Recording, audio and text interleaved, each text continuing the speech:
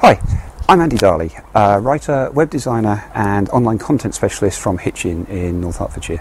That's the bit up from London, England, if you're watching this in America land.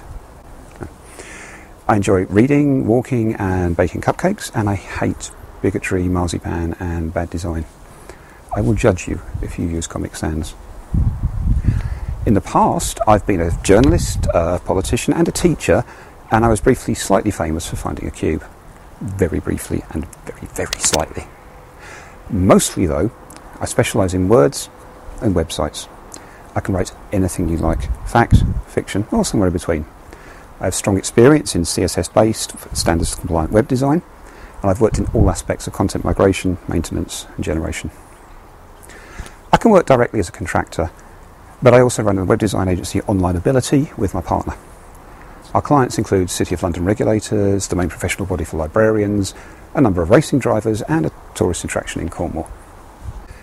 I've also just finished a spell teaching web design, media, and journalism at one of England's top rated FE colleges, Harlow in Essex.